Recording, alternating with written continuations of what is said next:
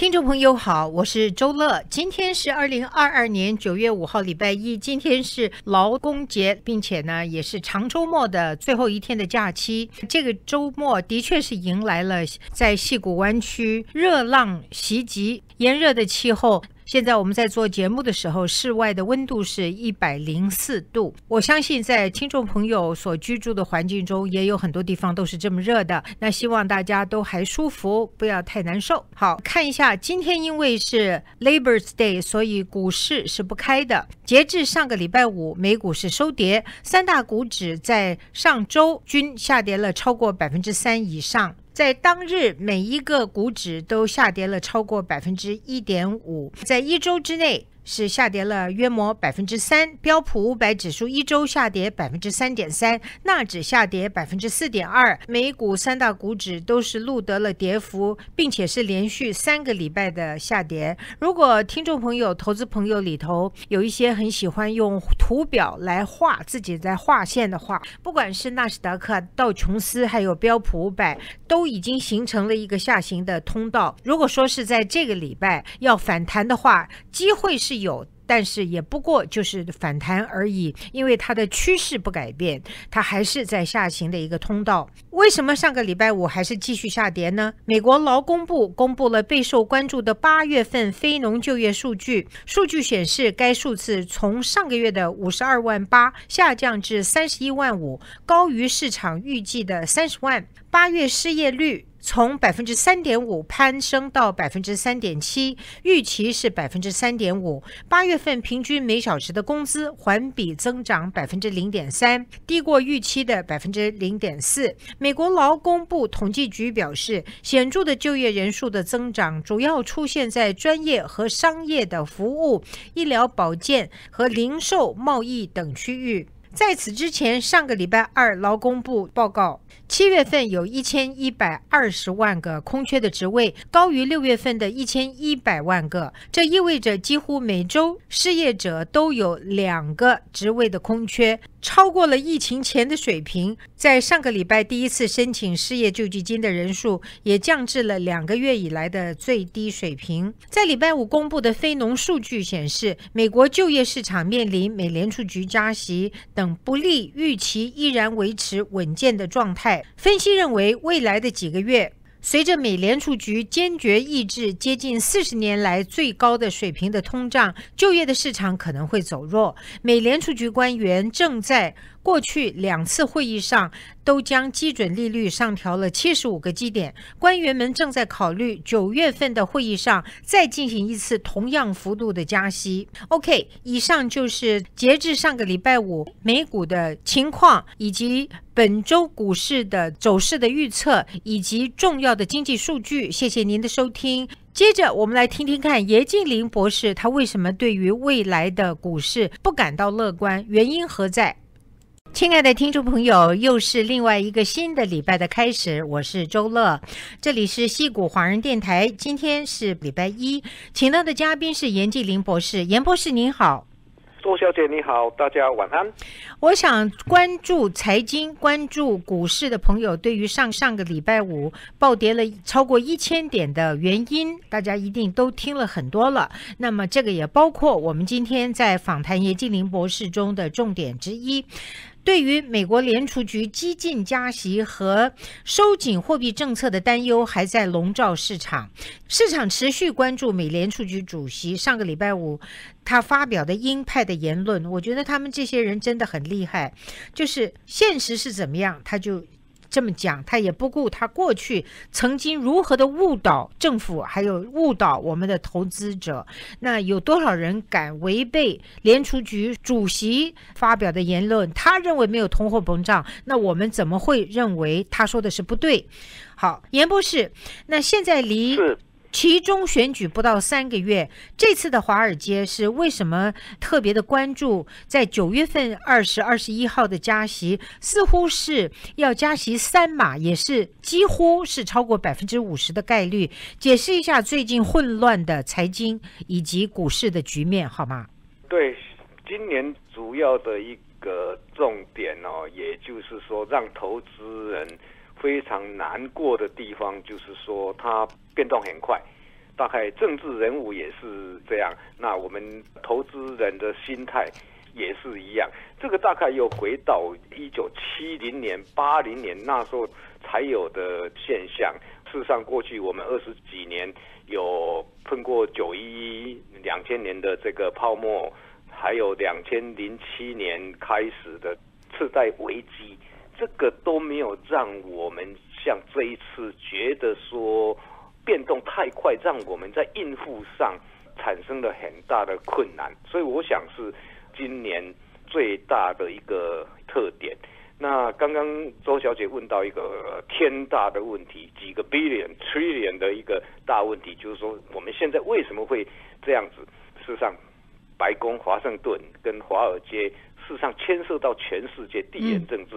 所以今年你如果在地缘政治上如果没有太大的关注或了解深一点的话，事实上你在做股票、债券、期货、黄金、石油、外币等等，你都相当的困难。所以，老实讲，这四十年来，我在市场上，今年应该是最困难的一年。哦，嗯嗯嗯，好。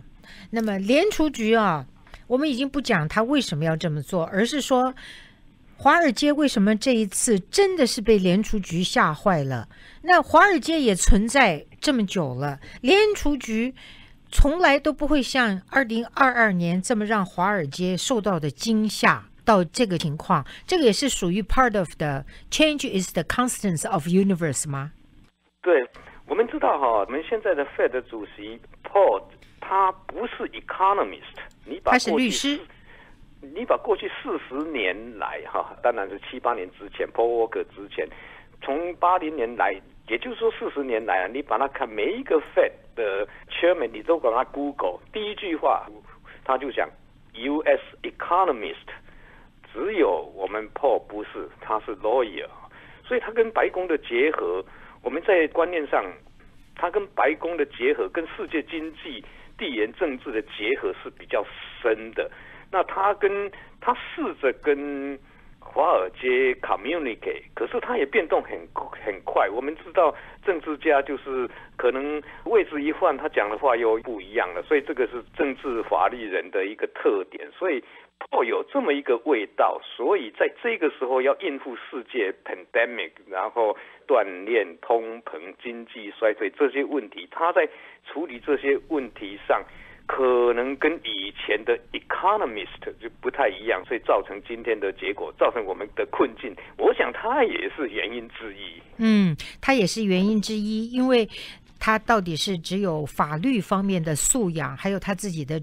专业，那以前的都是经济学家或者是诺贝尔奖的得主，这种情况跟一个不同专业出来来做联储局主席，他的 thinking method 还有他的思维方式和做法，的确真的是不一样的呀。这也就是我在强调说，做一个主持人。哎，有的时候也可以很好的主持政治、音乐或财经的节目，但是绝对不能这么的专精，了解中间的脉动，而能够知道如何抓住未来的问题，以及要问什么，然后这位嘉宾要回答什么，这个真的不是一两年就可以学得会的。好，现在看一下凶险的国外的经济。能够打压到美国吗？比如说欧洲，欧洲现在的经济就比美国坏得多。那还有其他个体的国家，比如战争中间的国家，这个如何能够影响坏的影响到美国的经济？对，我记得好像两三次前我有提过，这一次如果美国有什么经济上的一个困难磨难的话。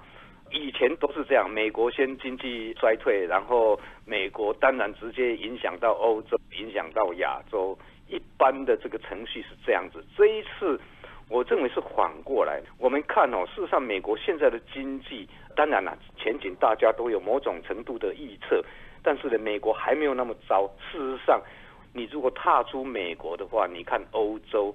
看中国哈，这两个大块，全世界就三大块，美洲、欧洲跟中国。所以我认为这个欧洲会很惨烈，然后中国经济的磨难也存在很大的困难，所以这些问题都会回来影响美国，可能已经要进入的这个经济的困境、经济的衰退，那外国再进来的话，外国的因素可能加重美国国内的经济。所以以前是美国影响全世界，那现在可能是外来的那些因素会回来影响美国。我们看欧洲好了，我们把重点放在欧洲跟中国，简单讲一下，欧洲像英国通货膨胀已经飙升到十点一。然后我们明年英国的经济，我们还是看到它的通膨可能会到十三、十八的。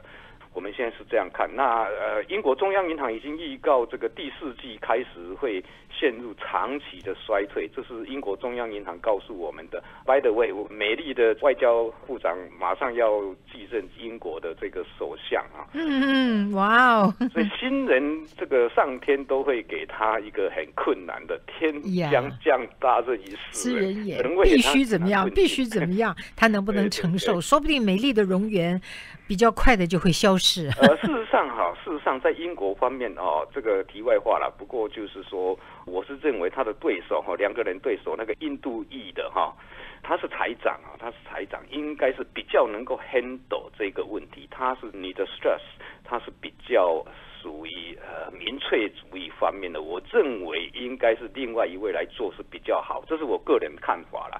那现在根据这个嘎点哈，就卫报他说，十六 percent 的英国人为省钱可能少吃一餐哈，这个也是蛮严重的。尤其英国今年经济罢工不断的很糟糕的夏天，这是英国的问题。那我们欧盟上面欧陆欧陆德国是最惨的，因为战争在那里，这是最大的原因。能源和通膨危机如果持续的话。柏林居民他担心无家可归，这是很大的一个问题。能源成本天天创新高，德国的工厂可能因此被迫出走。那如果在这个冬天，一旦俄国把天然气给断了或什么，因为北溪一号，俄国已经断了两次，一次十天，一次三天，说他要修理机器还是什么的。如果他真要惩罚欧盟的话，对德国下手，这是非常严重的问题。德国的储油、储气大概只能用两个半月，哎呦，半月而已。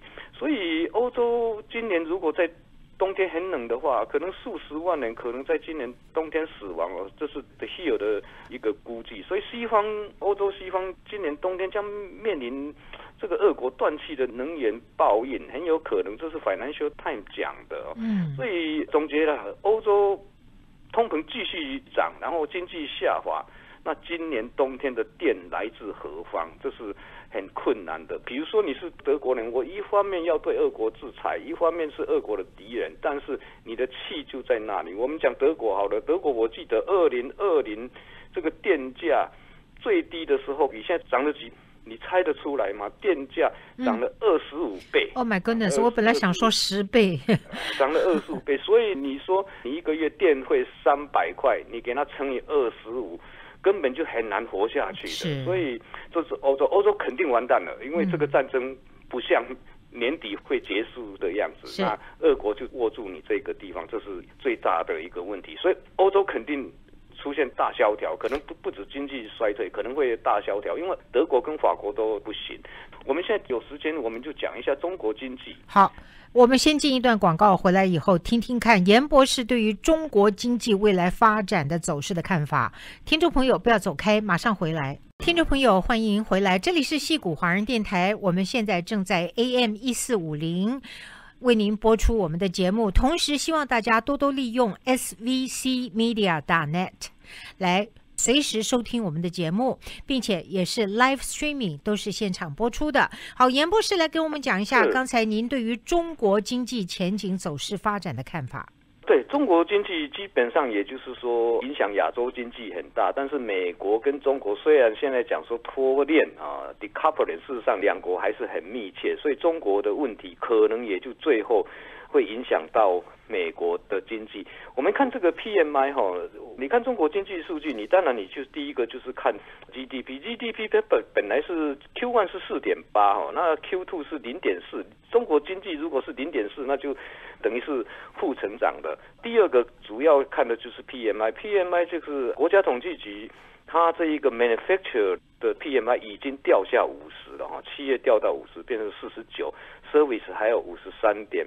八，那现在情况是这样子，中国今年经济除了疫情以外，那还有一个就是旱情，就是干旱，六十年来的高温造成的干旱。我想这两个旱情哦，疫情跟旱情是最主要的。另外，房地产是最大的一一个问题。所以今年八月的这个北戴河会议强调经济，经济，经济，也就是 Bill Clinton 讲的 “Is economy stupid”，就是。要搞经济，那最近习近平到这个辽宁锦州东湖广场达谈共同富裕。那李克强搞经济的，他他跑到深圳的这个创业园区，答应无息金援哈，无息给中国那些企业没有利息的经济援助，也就是说对中国的经济的新战喊话了。那房地产方面是最重要的，因为中国的 GDP 大概十三个 percent 是来自于房地产。那如果跟房地产有关的钢筋水泥啊，还有其他有关的，大概占 GDP 的三十 percent。中国房地产是在衰退的，而且衰退的相当相当严重。比如说最近有发生河南的停贷、断供啊、烂尾楼、村镇银行的暴雷，这些都是相当大的问题。所以这次中央政治局经济会议。通常在四月、七月、十二月，他会谈到经济，他还是坚持动态清零啊，这个是最大的打击。然后不再强求五点五 percent 的 GDP。然后政治局会议它里面讲不必降息，要扩大货币需求。哎，这个骗人哦！不但这个 Fed 会骗人，中国中央政治局也会骗人。最近才降息，他说不降息，然后最近在降息，这个就是一年短期的借贷便利。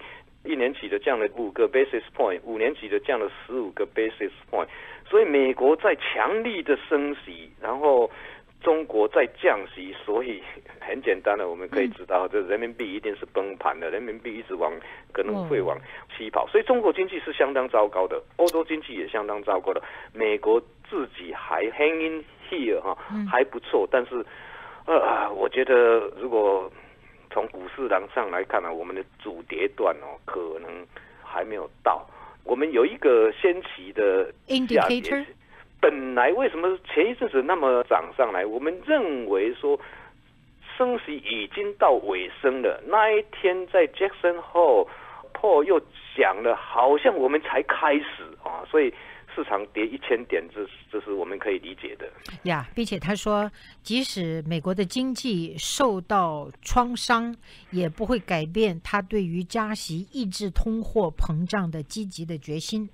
对他把八零年代 Paul Walker 的 spirit，把精神带上讲台上讲出来了，所以我们本来认为前一阵子市场那么兴奋，就是说我们已经进尾声了。升息近尾声，现在呢，我们才要开始。而且他说，他不犯 Paul Walker 那时候的错误。Paul Walker 他升了二十六码，又急降三十码，他现在不干了，他不降这个急升，他他不急降了。他说他不会犯这个错误，所以搞了一九八零八一两次两年连续背对背的 recession。现在市场担心的是这个，如果这个事情再出现的话呢，我们市场还没有看到主跌段。我们市场没有看到主跌段。事实上，在上上个礼拜五下跌超过一千点的时候，就有人跳出来说，这就是第二阶段的下跌开始。那您同意这个说法吗？对，我们以前讲过 Davis Double Play 戴维斯的这个双杀哈，也就是说，市场在跌，第一阶段就是因为涨利息，涨利息，我们经济还没有看到我们。二季的这个经济数据报出来，都还相当健康的，除了通膨的 number 我们有点担心以外，都很好。所以在这个情况，跌什么？跌 Fed 涨利息、缩表这些，所以这是在我们从年初一直跌到现在，是在跌这个部分涨利息、跌 PE 啦，也就是说跌 PE 的部分。那这个 N 零方面呢，还没有。我认为说，大概在这一季就会慢慢出现。不好看的数字，然后可能最大的问题会出在第四季。如果这样的话呢，那第二集在哪里？第一集是跌 PE，PE 缩紧。我们一直过去 pandemic 以后两年大概都在二十二左右，现在已经降到十七了。所以我们市场半年来的跌是在跌这一部分。然后现在接下来呢，主跌段会发生在哪里？我们的 N 领经济出现问题，N 领减低，那这个在这一方面又来跌了一次，就是所谓的主跌段。所以我现在还是坚持认为说，我们主跌段还没有看到，我们应该这个底部还在前面前面。嗯，好。那最坏的情况现在也无法预测，说哪一个指数跌到什么点位，这个是很难讲的。那我们这个就留到后面，如果看得出来，我相信严博士就会告诉我们的时节性和技术面，现在在九月初、八月底的时候如何看待？呃，对，这个时节性又是我们比较担心的问题。我们知道这一个九月哦，不管你用哪一个。哪一个指数道也好，S M B 也好，n e s t a q 九月是怎么排都是排在最后的，所以，所以我呃，华尔街大概是认为说，非常非常恨恨九月哈，怕十月，因为很多大事情突然来的事情都发生在十月，所以华尔街怕十月，他很恨九月，九月就是就是不长进。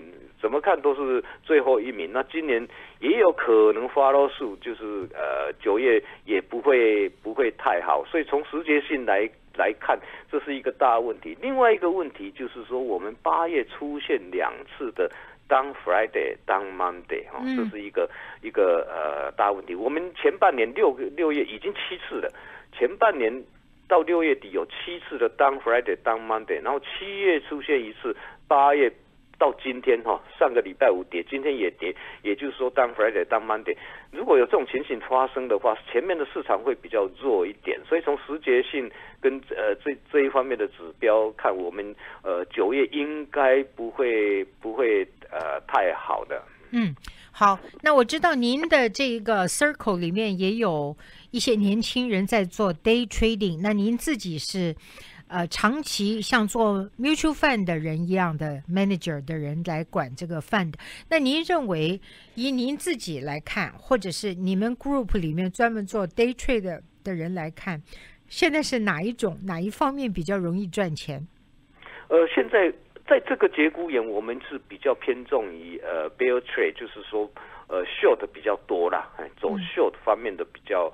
比较呃多一点，那这个 day trade 的话，呃，当然了，这个运气的成分相当相当大，但是基本上我们心理上在这个呃阶段开始，呃，往前面九月，我们是比较偏重于这一个，如果你有 long 的 position，你就买 insurance 呃之类的的东东西，然后呃，如果你要操作的话，我们还是还是偏向于呃秀方面，偏向于秀方面，你。